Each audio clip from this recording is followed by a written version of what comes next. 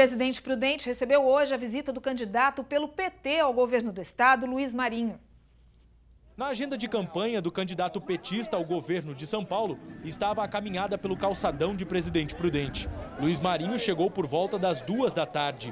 Aliados políticos e sindicalistas acompanharam o governável, que cumprimentou as pessoas e conversou com lojistas. Entre as promessas de campanha, Luiz Marinho afirmou que quer utilizar mais do esporte e da cultura para ampliar o acesso ao ensino integral no estado de São Paulo, a exemplo do que fez como prefeito em São Bernardo do Campo.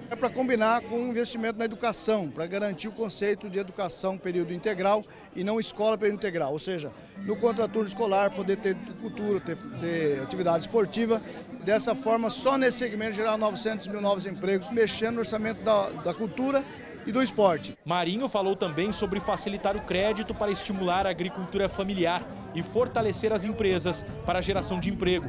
De Prudente, o candidato seguiu para outras cidades na região, onde terminou o dia de campanha, no Oeste Paulista.